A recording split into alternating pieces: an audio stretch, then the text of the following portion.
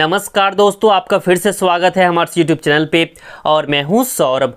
दोस्तों, आज आईपीएल का चौवनवा मैच खेली जाएगी, जिसमें Royal Challengers Bangalore versus MI यानी कि मुंबई इंडियंस के बीच मैच खेली जाएगी। तो दोस्तों, आज मैं फिर से आपको बताऊँगा पूरा डिटेल एनालिटिक्स करके दिखाने वाला हूँ दोनों टीम्स के जो है प्लेयर्स के बारे में, कि कौन से प्लेयर का फॉर्म कैसा है मुंबई इंडियंस के बल्लेबाजों का फॉर्म कैसा है, जो है उनके गेंदबाजों का फॉर्म कैसा है and second Royal Challengers Bangalore के बल्लेबाजों का फॉर्म कैसा है एंड उनके गेंदबाजों का फॉर्म कैसा है? एंड दोस्तों, पहले एक मैच हो चुकी है इसी सीज़न में मुंबई इंडियंस वर्सेज आरसीबी के बीच।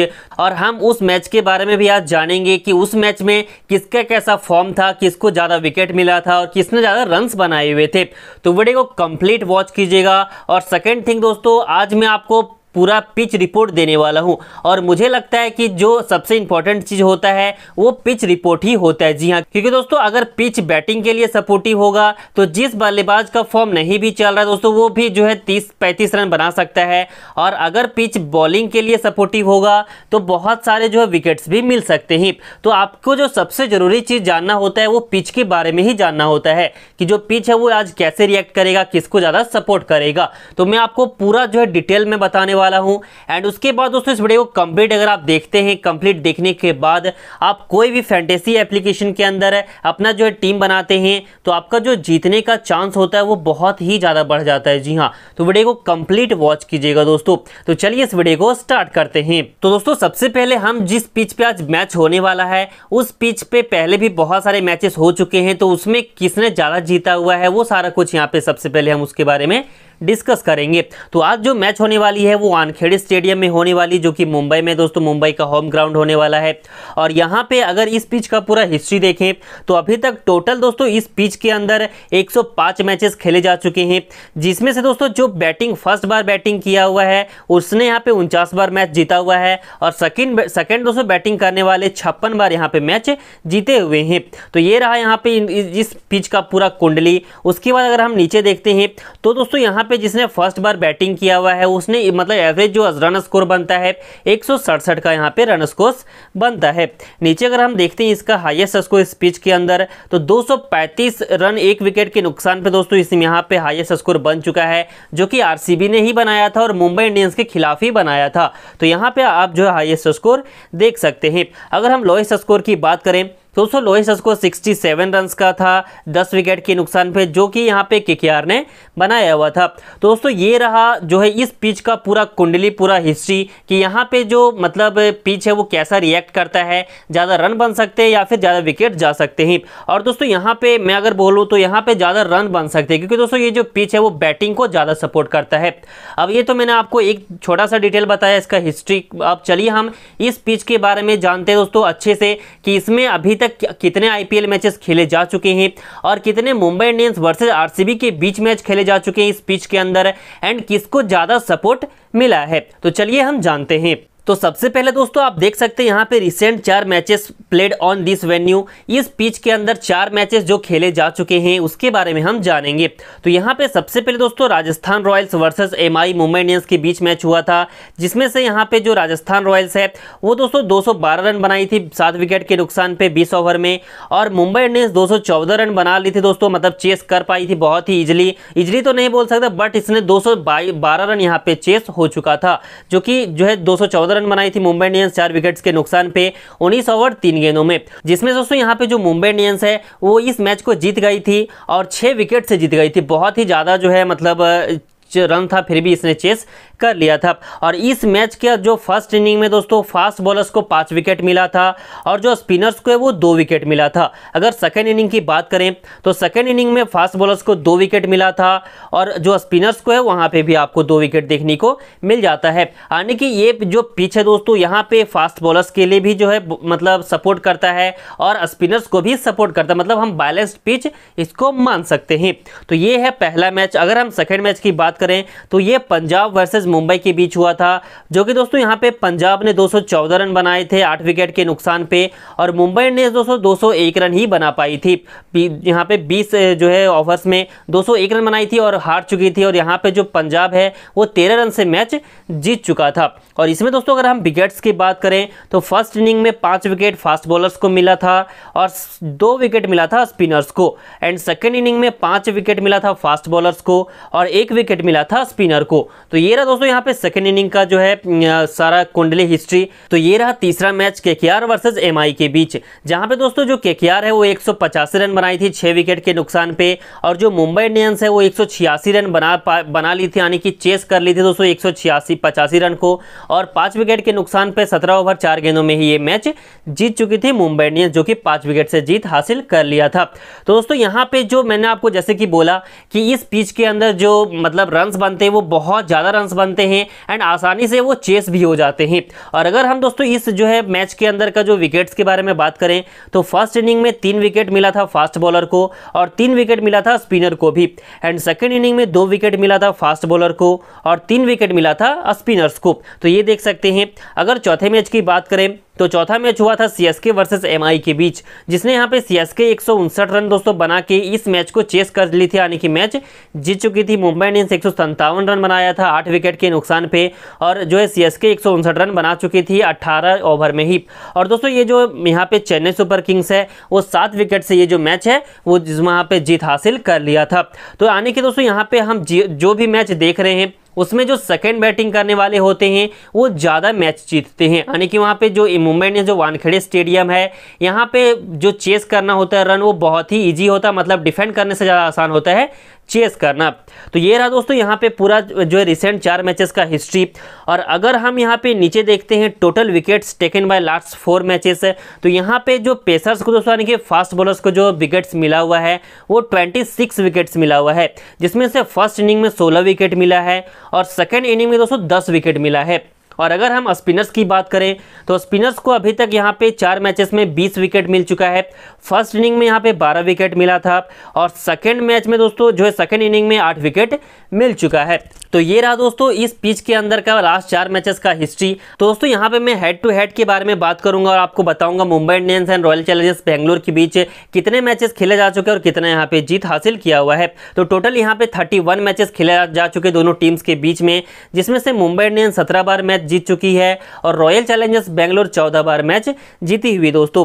और यहाँ पे अगर हम जो है लास्ट तीन साल का जो है मैच के बारे में जाने तो सबसे पहले दोस्तों ये जो है रिसेंट का मतलब दो हज़ार तेईस का ही रिसेंट आईपीएल का है हिस्ट्री जो कि एक बार मैच यहाँ मतलब जो ये मैच हुआ था। तो इसमें दोस्तों जो मुंबई इंडियंस है वो एक सौ इकहत्तर रन बनाई थी सात विकेट के नुकसान पे, और जो आरसीबी है वो एक सौ बहत्तर रन बना ली थी दोस्तों सोलह ओवर पे ही। और यहाँ पे जो आरसीबी है वो आठ विकेट से इस मैच को जीत, यहाँ पे जीत ली थी, यानी कि जीत उनको मिल चुका था। और अगर हम यहाँ पे जो है बैट्समैन एंड बॉलर की बात करें तो आप अगर देखते हैं तो यहाँ पे जो विराट कोहली है, वो इस जो है पिच के अंदर दोस्तों 82 रन्स बनाए थे। नीचे फैफ डुप्लीसिस 30 से यहाँ पे 73 रन्स बनाए थे। ग्लेन मैक्सवेल 12 रन बनाए थे। मोहम्मद सिराज को दोस्तों एक विकेट मिला था या टोपले को एक विकेट मिला था ये दीप को एक विकेट मिला था, हर्षल पटेल को भी एक विकेट मिला था, करण शर्मा को दो विकेट मिला था और एम यहाँ पे ब्रेसवेल को मिला था एक विकेट तो ये रहा आरसीबी के बल्लेबाजों एंड गेंदबाजों का इस पिच के अंदर फॉर्म अगर हम यहाँ पे मुंबई इंडियंस के जो है प्लेयर्स का फॉर्म देखें तो रोहित शर्मा दोस्तों एक विकेट एक ही रन बना के आउट हो चुके थे। कैमरन ग्रीन दस रन बनाए थे, एक विकेट इनको मिला था। ईशान किशन दस रन बनाए थे। सूर्य कुमार यादव दोस्तों यहाँ पे पंद्रह रन बनाए थे। तिलक वर्मा इस पिच के अंदर 84 रन बनाए थे और नाबाद रहे थे। यानी कि जो है बहुत अच्छा रन ये यहाँ पे बनाए हुए थे। उसके बाद एन वडेरा दो यहाँ पे 21 रन बनाए थे। एंड यहाँ पे एक खान 15 रन बनाए थे। उनको एक विकेट भी मिला हुआ था और ये नाबाद भी रहे हुए थे। दोस्तों, ये रहा यहाँ पे रिसेंट मैच का फॉर्म तो चलिए हम 2022 एंड 2021 का भी यहाँ पे जो मुंबई इंडियंस एंड आरसीबी के बीच मैच हुआ था, उसके बारे में जानते हैं। उसका पूरा हिस्ट्री यहाँ पे देख लेते हैं। तो ये रहा दोस्तों 2022 का मैच जो कि मुंबई इंडियंस और आरसीबी के बीच हुआ था। तो यहाँ पे दोस्तों सबसे पहले हम देखते हैं मुंबई इंडियंस जो रन बनाए थे, वो एक सौ इक्यावन रन बनाए थे छह विकेट के नुकसान पे। और ये आरसीबी इस मैच को भी जीत चुकी थी, चेस कर ली थी बहुत ही इजिली एक रन बना ली थी दोस्तों तीन विकेट के नुकसान पे ही अठारह ओवर और तीन गेंदों के यहाँ की मदद से। और दोस्तों अगर आप यहाँ पे हम देखें तो सात विकेट से जो ये रॉयल चैलेंजर्स बेंगलोर है, वो मैच जीत चुकी थी। और अगर हम नीचे फॉर्म के बारे में बात करें तो जो है, ये रावत यहाँ पे 66 रन बनाए थे और ये रॉयल चैलेंजर्स बैंगलोर का फॉर्म है दोस्तों। विराट कोहली 48 रन बनाए थे। वानेंदु हसरंगा दो विकेट मिला था।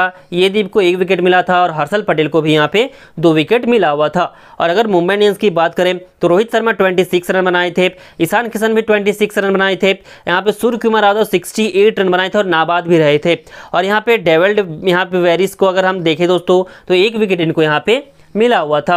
तो ये रहा दोस्तों, यहाँ पे जो है सेकेंड मैच का मतलब 2022 में जो मैच हुआ था, उसका हिस्ट्री दोस्तों, अगर हम तीसरे मैच के बारे में बात करें 2021 वाले तो यहाँ पे आप देख सकते हैं, इसमें दोस्तों रॉयल चैलेंजर्स बेंगलोर एक रन बना ली थी छः विकेट के नुकसान पे, और जो मुंबई इंडियंस है, वो एक सौ ग्यारह रन बना पाई थी दस विकेट के नुकसान पे, यानी कि ऑल आउट हो चुकी थी। और मैच यहाँ पे जो रॉयल चैलेंजर्स बेंगलोर है, वो चौवन रनों से जीती हुई थी, बहुत बड़ा जीत इनको मिला हुआ था। और अगर हम यहाँ पे जो है दोनों टीम्स के बल्लेबाजों और गेंदबाजों का फॉर्म देखें तो विराट विराट कोहली इस मैच में 51 रन बनाए थे। ग्लेन मैक्सवेल छप्पन रन बनाए थे। इनको तीन विकेट भी मिला हुआ था।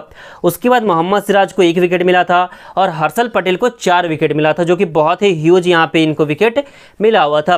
अगर हम जो है मुंबई इंडियंस के बल्लेबाजों एंड गेंदबाजों की बात करें तो रोहित शर्मा फोर्टी रन बनाए थे। क्विंटन डिकॉक ट्वेंटी रन बनाए थे, ईशान किशन नौ रन बनाए थे। सूर्य कुमार यादव दोस्तों, आठ रन। टी वोल्ट को एक विकेट मिला था, जसप्रीत बुमराह को तीन विकेट मिला था और राहुल चहर को एक विकेट मिला था। तो ये रहा दोस्तों 2021 का Royal Challengers Bangalore versus MI यानी कि मुंबई इंडियंस के बीच का मैच और अगर आप ध्यान दिए होंगे तो ये जो तीनों मैचेस हैं, इसमें से तीनों मैच दोस्तों रॉयल चैलेंजर्स बेंगलोर ही जीती हुई है। यानी कि जो इनका चांस है, अभी मतलब रिसेंट मैचेस में अगर हम रिसेंट ईयर्स का बात करें तो यहाँ पे जो मुंबई इंडियंस है, वो रॉयल चैलेंजर्स बेंगलोर के सामने थोड़ा सा जो है फीका दिखता है और यहाँ पे जो मैच है वो बार बार हार रही है, लगातार हार रही है।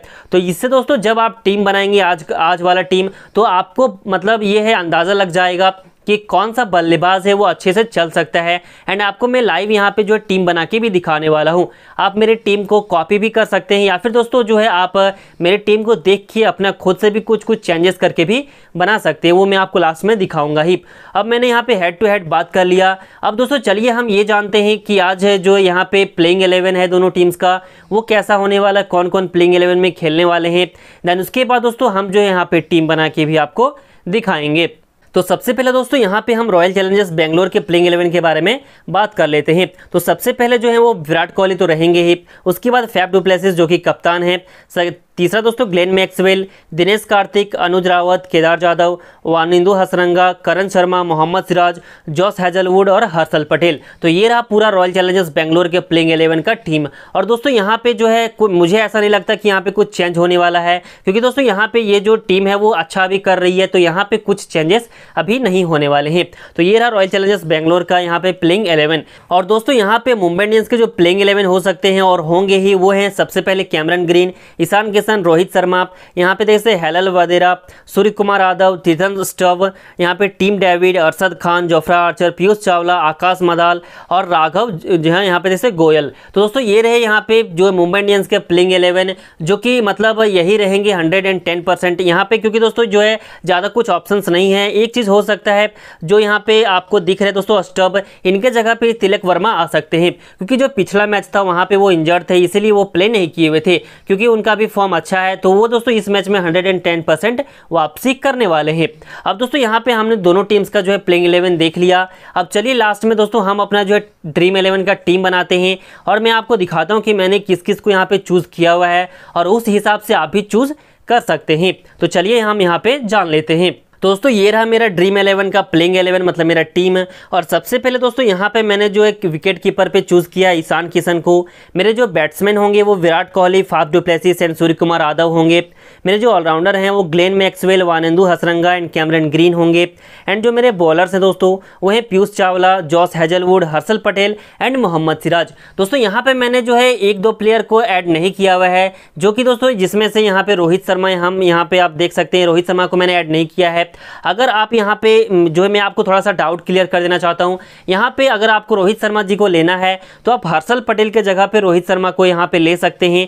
तो वो चीज़ आप कर सकते हैं। मुझे ऐसा लगता है कि उनका जो भी फॉर्म है, वो अच्छा नहीं चल रहा है। तो इसलिए मैंने उनको अपने प्लेइंग एलेवन में यहाँ पर जो है शामिल नहीं किया हुआ है। आपको अगर लेना तो आप उनको ले सकते हैं हर्षल पटेल की जगह पे। तो ये रहा दोस्तों मेरा जो है ड्रीम एलेवन का टीम और मैंने जो कप्तान बनाया है, वो फैप टू प्लेसिस को बनाया है। एंड जो है वॉइस कप्तान बनाया है कैमरन ग्रीन को। यहाँ पे कप्तान एंड वीसी दोस्तों, आप अपनी मर्ज़ी से भी बना सकते हैं। कॉपी करना चाहें तो कॉपी भी कर सकते हैं। तो दोस्तों, मैंने आपको सारा डिटेल बता दिया जो आज मैच होने वाली है। और इसके बाद अगर आपने वीडियो को ध्यान से देखा होगा तो आप बहुत ही बेहतरीन टीम बना सकते हैं एंड आपका जो जीतने का चांस है, वो बहुत ही ज़्यादा बढ़ जाएगा। एंड एक और बहुत बहुत ही मोस्ट इंपॉर्टेंट बात आपको बताना चाहता हूँ। दोस्तों, यहाँ पर जब जो लाइनअप आ जाती है सात बज के पाँच मिनट पर तो मैं अपने जो है टेलीग्राम पर अपने टीम का स्क्रीन वगैरह पोस्ट करता हूँ। और बहुत सारे ऐसे जो है अपडेट्स आती है टॉस होने के बाद कि कौन पहले बैटिंग करेंगे, कौन जो है बॉलिंग करेंगे कौन अभी प्लेइंग एलेवन में शामिल हैं। तो उन सभी जो है अपडेट्स के बारे में मैं अपने टेलीग्राम पे अपडेट कर डालता रहता हूँ, बताते रहता हूँ। तो ज़रूर से आप हमारे टेलीग्राम चैनल को ज्वाइन कर लीजिएगा। यहाँ पे दोस्तों आपको कहीं दिख रहा होगा अर्नो हब तो आप जो है टेलीग्राम पर जाकर सर्च भी कर सकते हैं, या फिर डिस्क्रिप्शन बॉक्स पर मिल जाएगा, वहाँ से भी आप हमें फॉलो कर सकते हैं।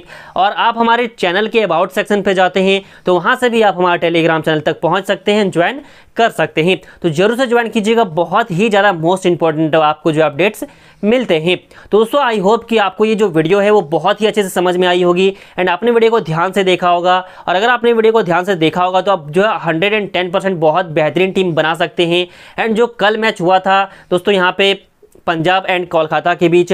तो वहाँ पे मैंने जो टीम बनाया था, उसमें भी बहुत अच्छा खासा मुझे पॉइंट्स मिला हुआ था। उसका भी स्क्रीनशॉट मैंने अपना टेलीग्राम पे पोस्ट किया हुआ है तो आप उसको भी वहाँ पे जाके देख सकते हैं। तो दोस्तों, अगर आपको ये वीडियो सच्ची में इन्फॉर्मेटिव लगी हो तो लाइक शेयर करके चैनल को ज़रूर से सब्सक्राइब कर लीजिएगा एंड बेल आइकन पे प्रेस कर लीजिएगा।